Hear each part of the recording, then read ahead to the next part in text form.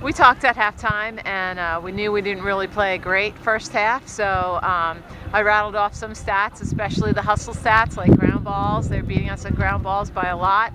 Group beating us on uh, draw controls, so we just we just uh, asked them who wants it more. So it's conference time, conference call time. So we uh, we stepped it up in the second half.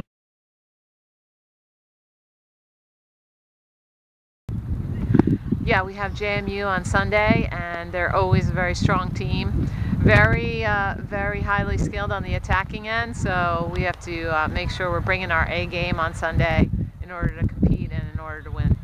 So when we went to the locker room, you know, no one put their heads down. Coach told us, and she read the stats, how we were down on ground balls and down on the draw control, and she just said that